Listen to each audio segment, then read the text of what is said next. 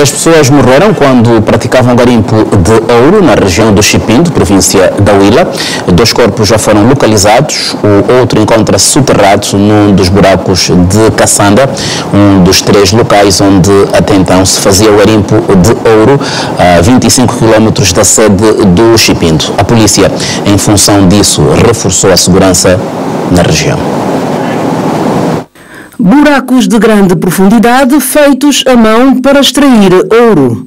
Terra pronta para desabar a qualquer momento, mas ainda assim os garimpeiros não querem saber e arriscam a própria vida. Todas as pessoas iam para lá, que aproveitar também tirar esse agributo. Lá havia muita gente, como lá vai ser muita gente. A 15 de março do corrente, 13 cidadãos morreram aqui na localidade de Chicoele, a 30 quilómetros leste da sede municipal de Chipindo. 30 dias depois aconteceu o mesmo na zona de Caçanda, a 25 quilómetros a sul. Estamos à espera se vão nos ajudar tirar meu irmão. Filhos? Sim, tem. Deixou quantos? Tem nove, duas mulheres. Os serviços de proteção civil e bombeiros resgataram dois corpos, sendo que o terceiro ainda se encontra soterrado. Nós estamos a, a fazer um trabalho intensivo de sensibilização para que os jovens parem de aderir a esse tipo de atividade ilegal.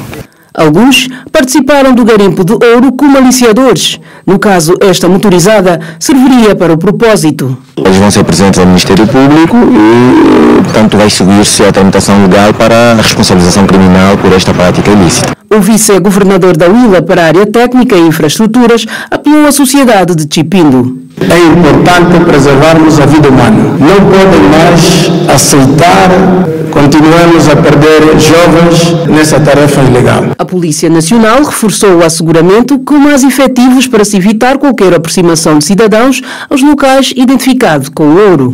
O território é muito vasto e então nós vamos criar condições de maior mobilidade para que o efetivo possa tocar em todos os pontos onde nós sabemos que uh, esteja a se desenvolver a atividade de garimpo. É uma atividade que eles fazem durante várias horas, vários dias.